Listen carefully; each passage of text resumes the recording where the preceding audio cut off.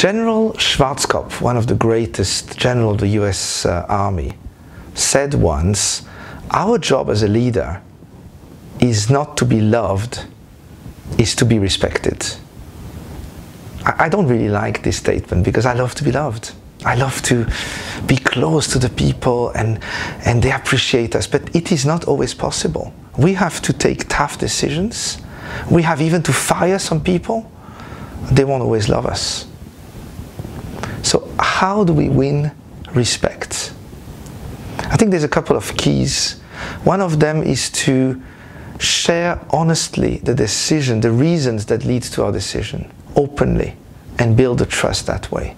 They might not agree with you, but they know you have good reason to make such a decision.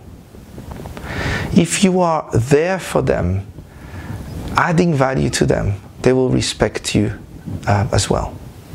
But the biggest key is take responsibility in what you do and take responsibility for your mistakes as well. They will see you as an honest, capable, responsible leader.